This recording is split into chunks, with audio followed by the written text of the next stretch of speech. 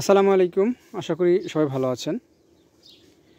গত এক মাস আগে আমরা কম্পোস্ট প্রস্তুতি তৈরি শুরু করছিলাম। আজকে আমি আপনাদের দেখাচ্ছি যে আমাদের এই কম্পোস্টের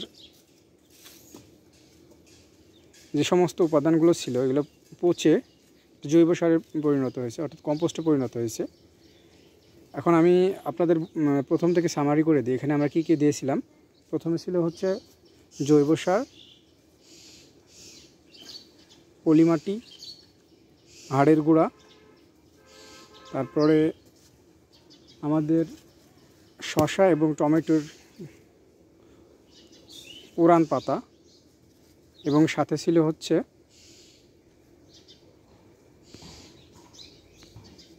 কোকোডাস্ট গোবর। এই তিনটা পাঁচ থেকে ছয়টা উপাদান দিয়ে আমাদের স্পেশালি স্ট্রবেরির জন্য আমরা কম্পোস্ট তৈরি করলাম। তো আজকে আমাদের কম্পোস্টের চতুর্থ কোপ আর কি মানে চতুর্থ নম্বর মাটিটা চতুর্থবারের মতো আমরা মাটিটা ওলটপালট করতেছি।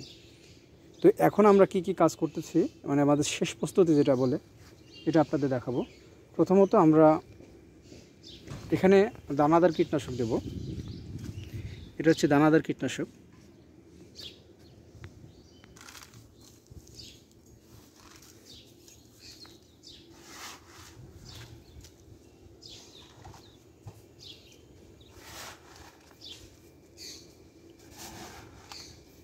আমরা দানাদার কীটনাশক দেওয়ার পরে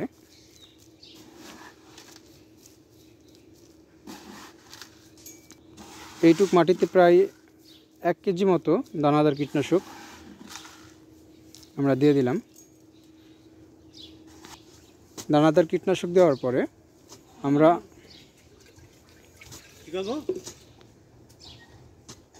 আমরা একটা কোপ দিয়ে নিব।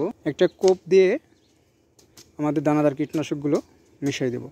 তো আমি আপনাদের বলে রাখি কম্পোস্ট তৈরি হলে কম্পোস্টের কালার কালচে হয়ে যায়। অর্থাৎ আপনারা দেখতে পাচ্ছেন আমাদের কম্পোস্টগুলো কালো হয়ে গেছে। প্রায় এক মাস আমাদের এই- এই কম্পোস্ট বা মাটি তৈরির বয়স। কম্পোস্ট তৈরির বয়স হচ্ছে প্রায় এক মাস। দানাদার কীটনাশকটা মেশানোর পরে আমরা এখানে দুই দিন আগেকার পচা খোল আমরা ড্রামে ভিজিয়ে রাখছিলাম, ঠিক ওই খোলটা এখানে আমি দিয়ে দিয়ে দিচ্ছি। এইভাবে খোলটা দেওয়ার পরে আমরা কিছুক্ষণ অপেক্ষা করব। তারপরে উপরের মাছি মাটির নিচে এবং নিচের মাটি উপরে ঠিক এইভাবে একটা কোপ দিয়ে দেব। কোপ দিয়ে আমাদের ফাইনালি স্ট্রবেরির জন্য কম্পোস্ট তৈরি কাজ শেষ হয়ে গেছে। ঠিক সাত দিন পরে আমরা বা সাত থেকে আট দিনের মধ্যে আমরা এই মাটিটা স্ট্রবেরি খেতে স্ট্রবেরি চারা রোপণের পূর্বে অ্যাড করে দেব। এই ছিল আমাদের স্ট্রবেরির জন্য মাটি তৈরির একটি কৌশল। ধন্যবাদ, সবাই ভালো থাকবেন। আল্লাহ হাফেজ।